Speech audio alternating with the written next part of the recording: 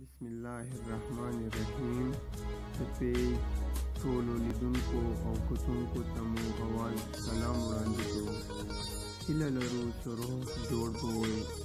تاسو ټول ملګري د مو پیج توري سټایل توري قبایل درسره لایک کړئ او پاس یوټیوب چینل لینک درکړی شوی دی